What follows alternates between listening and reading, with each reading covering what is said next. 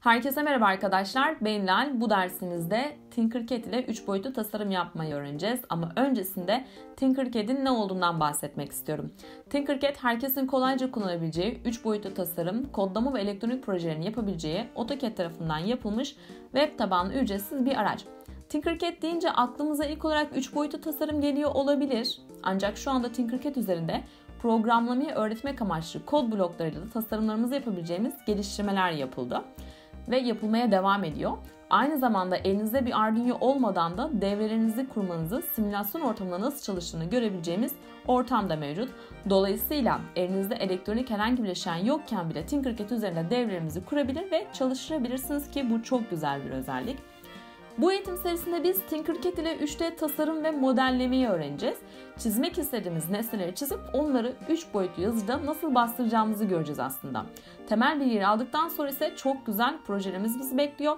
Örnek olarak e, DNA projesi, kar tanesi, stres çarkı, robotik derslerimiz için malzemeler, Lego parçası, Make Block parçaları gibi projeleri yapacağız. Aynı zamanda bu projeler her bir dal içinde örnek teşkil edecek. Örnek veriyorum DNA projesi biyoloji için güzel bir örnek. E, robotik dersler için Lego parçaları basmak, Make parçaları basmak veya farklı bir e, aracın parçalarını basmak bu dal için güzel bir örnek olacak.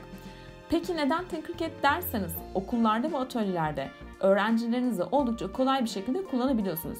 Sadece iş amaçlı değil, hobi amaçlı geliştirdiğiniz projeler. Hatta profesyonel işlerinizde bile kullanabileceğiniz seviyede çizimler yapabiliyorsunuz. Daha da güzeli oluşturduğumuz modelleri 3 boyutlu yazıcılar için indirip bastırabiliyoruz. Böylece bu basit programı ve 3 boyutlu yazıcıları kullanarak aklımızdaki fikirlere hızlıca bir gerçeğe dönüşüyoruz aslında. Tinkercad'in diğer bir güzel özelliklerinden bir tanesi ise bilgisayarımıza indirmemiz gerekmiyor. Online ortamda direkt olarak çalışıyoruz. Dersler ilerledikçe göreceksiniz ki kullanması oldukça eğlenceli, yeni şeyler öğrenmesi ise oldukça kolay. Kısa bilgiden sonra artık başlayabiliriz. Bir sonraki videomuzla birlikte derslerimize başlıyoruz arkadaşlar. Bir sonraki videoda görüşmek üzere.